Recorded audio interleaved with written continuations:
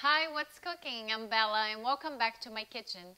Today I'm going to be showing you how to make homemade vegan ricotta.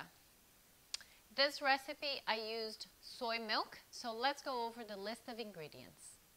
Unsweetened, unflavored soy milk, white vinegar, salt, and white pepper. You're gonna see this is a very simple and easy process. Don't blink it because you might actually miss it, but you are gonna need some very important tools. Um, I don't have the cheese mold yet. I did buy it on Amazon, so next time I make it, I will have a beautiful looking ricotta, but a chinois will work. I have a fine mesh chinois. You do want to have cheesecloth. If you don't have a cheesecloth, you can use um, I wouldn't recommend a kitchen towel, but something to put over your chinois before you put the mixture in. And a thermometer would be very helpful. But if you don't have a thermometer, don't worry because the first time I actually made it, I didn't use my thermometer and it turned out just perfect. So let's get to it. Again, the milk is soy milk. Now I did try this with um, almond milk and cashew milk and it did not work. So the soy milk has 7 grams of protein per serving while the almond and cashew only have 2 grams and what's going to coagulate is the protein in the milk. So that's probably why it didn't work out. So I just added the milk to the pan. I'm going to bring it to almost a boil over high heat I'm going to add the white peppercorn.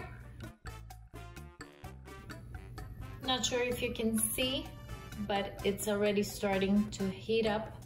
You can see some evaporation starting.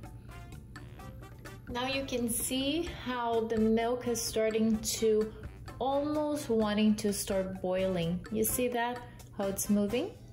So I'm at 130 degrees Fahrenheit and I'm going to turn it off.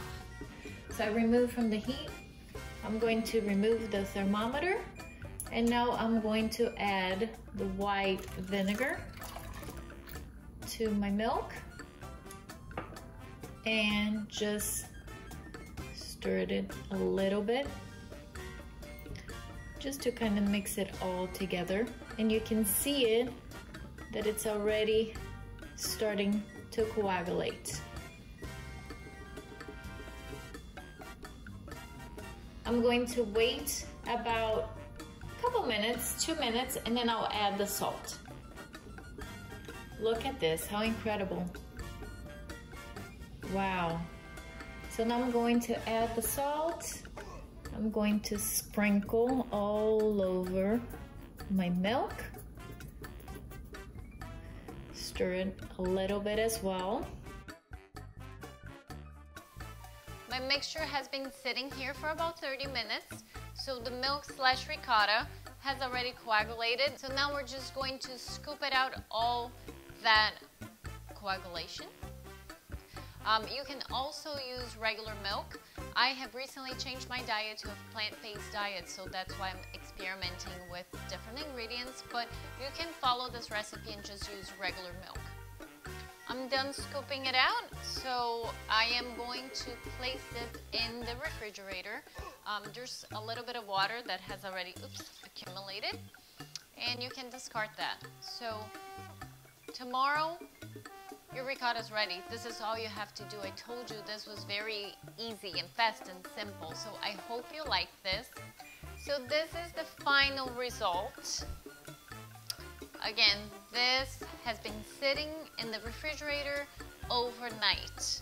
When it's ready, just flip it over a plate. I am going to use this plus the recipe that I just made for you um, to make a spinach and ricotta pie. So don't forget to hit the bell and get notified every time a new recipe drops. If you like this tutorial, please don't forget to hit the like button and subscribe. This is how you help support the channel. Thanks so much for watching. I'll see you next time. Bye-bye.